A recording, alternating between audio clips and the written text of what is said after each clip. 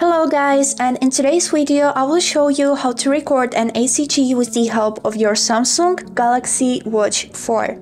Let's get started, but firstly don't forget to follow to see more useful content. So, firstly first, what is an ECG? It defines as echocardiogram.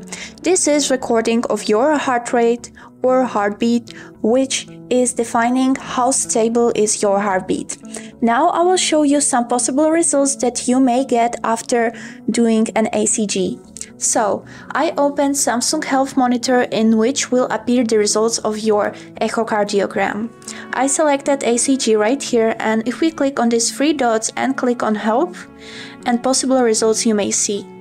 Please notice that the sinus rhythm is the only normal ACG result that you can see after doing a recording. If you see anything else, please visit your doctor to check on your heart health. And also notice that, that this ACG recording does not replace professional medical help.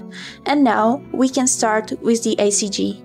So, to record an ACG, firstly wake up your watch by double click on a screen or by pressing this home button right here.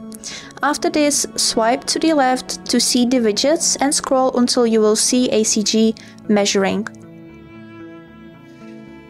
Here it is. Click on record. And firstly, make sure that the watch is snug on your right wrist. And also read these warnings, which is saying that the measuring by Samsung Health Monitor are not complete diagnosis of any medical conditions, and if you are not sure with the results, please contact a healthcare professional. After this, click on OK and rest your finger lightly on the home button. Now, the ACG is starting and it measures your heartbeat. And also notice this text right here which says app never looks for a heart attack. If you are thinking that you may have heart attack right now, please contact emergency services to get help ASAP. And now we wait 30 seconds until the ACG will be done.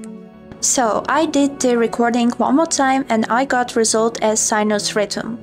This result is absolutely normal. But please notice that if you got any other result and you are having some symptoms which can signal that you are having problems with your heart, please visit a medical professional to check on your health. And that's all. Also, if you scroll down, right here you can add some symptoms if you are feeling unwell by clicking on this add. And right here you can see some symptoms which can signal about some heart problems. And that's all. If we click right here down and take a look on our phone, right here you would be able to see this recording and all information about it.